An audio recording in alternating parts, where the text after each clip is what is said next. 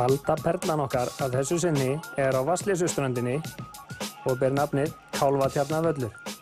Við erum hér að því erum að segja á heilagri jörð. Getur þú sagt okkur aðeins frá Kálfatjarnavölli? Kálfatjarnavöllur er hérna á, á kirkjörðinni, Kálfatjörn og hérna er spilað í kringum kirkjuna. Hún er semst á miðjum kálvöllunum og, og, og það er kirkjugarður og, og alla græður til, til slíks brúks. Þessi völlur er nýju hólur, opnaður hérna fyrir, ja, fyrir 12 ára síðan og búið að vísa breytast mjög mikið síðan. Hvað er það sem gerir Kálfatjarnavöll sérstakann og af hverju ætti fólk að koma hingað og spila þessa földu perlu? Ég veit meina umhverju hérna sé rosalega sérstakt.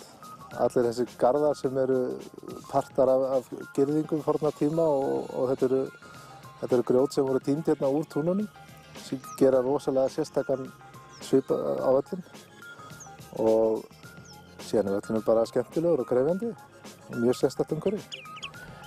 Geta allir kylfingar komið og spila á Kálfatjarnavelli eða er hann á einhverjum tímum bara ópinn fyrir fjöl?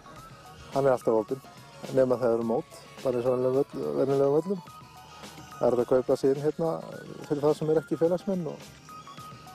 Hvað er vallagjaldið á Kálfatjarnavelli?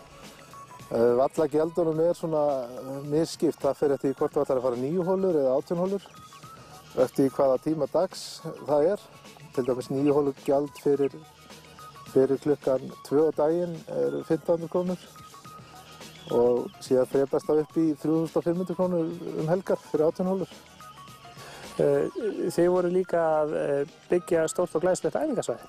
Já, við opnum hérna æfingarsvæði í vor sem eru, já það verður með pöllu fyrir 10 manns, við erum með, komið með 8 núna og það er um 200 meter langt og, og síðan er nú ætlum að lengja aðeins meira setni eftir svona 2-3 vantarlega. Það er hérna Það er náttúrulega opið öllum og fólk getur bara komið og lekt sér kúlur og jafnvel fengið lánaði kilfur eða þessir að, að, að segja.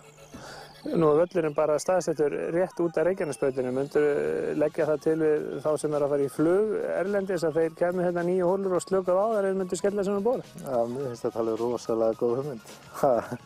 Þetta er akkurat á leiðin út á flugvöll. Það takk ekki, allir þetta sé ekki rúmtir upp á, á 5 minútur í viðbót.